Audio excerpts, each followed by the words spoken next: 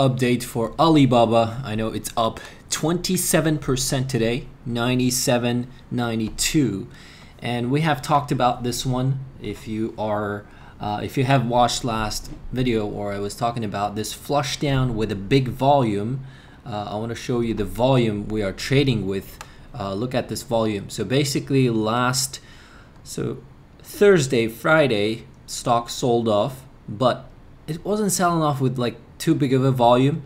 And then Monday, look at this big volume, almost 86 million. And today, well, that's what I was talking about when I said I'm looking for about 20 point move uh, to the upside. Um, this is it 20 points, 21 points. Uh, but I wasn't expecting it to do in one day. But look at it. So big gap, gap up in the morning. So if I switch to a 15 minute chart you will see uh, slight pullback in the morning. People who wanted to get out they got out and it continues to go higher with a bigger volume. And the day is not over yet. Uh, it's only half a day through but stock is up big. So what's the resistance from here? That's what I want to talk about. So for me basically uh, still uh, we have um, resistance here at 103 100 and 110 is the bigger resistance. So I do think that it can uh, chop around these levels once it gets here okay? And I'm not going to be uh, delusional to uh, think that the stock will straight go back to 140 or 160 no I don't think so. So it's going to be in this range. So if it recaptures $100 perfect but today there are a lot of Chinese stocks because of uh, I think the headlines.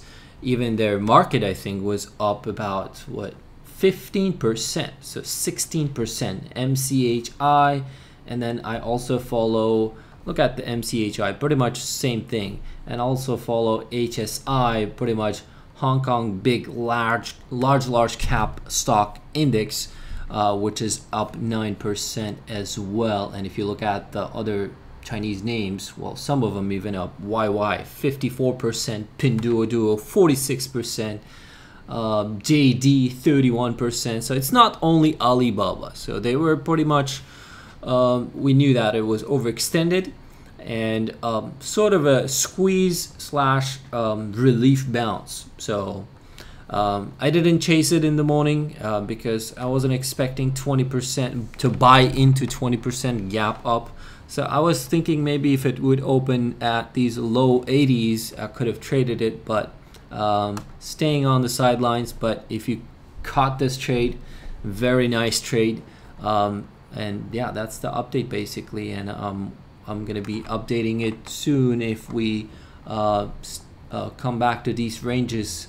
And also uh, once Fed is out of the way and once once this uh, March 18th big option expiration date is out of the way.